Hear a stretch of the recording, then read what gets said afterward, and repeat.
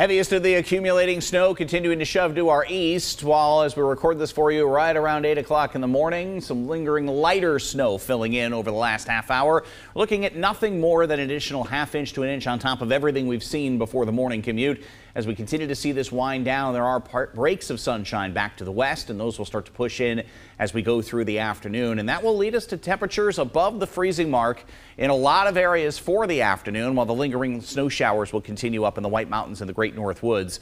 All the while, northwesterly wind this afternoon will lighten later on this evening, and that will be the beginnings of colder air rushing in. Bottom line, clean up while you can this afternoon and this evening because temperatures are heading below the freezing mark tonight and likely not getting back above it again at the earliest sometime Friday afternoon or for most sometime on Saturday. You can see the lows tonight in the single digits and teens. Highs tomorrow will be in the 20s. Partly sunny skies. You'll notice the chance of some scattered snow showers. Probably the best chance of those focused in will be up through the White Mountains and the Great North Woods through Friday afternoon. A quieter day for us on Thursday. Partly sunny skies Friday. And then eventually, as we get toward the end of the week, there will be some milder air to be had. Brighter afternoon with partial sunshine as the wind starts to turn a little bit more northwesterly. There are your lows tonight, and there are your high temperatures below the average in your seven day forecast. Looks like our next system could be rain or mixed showers on Sunday.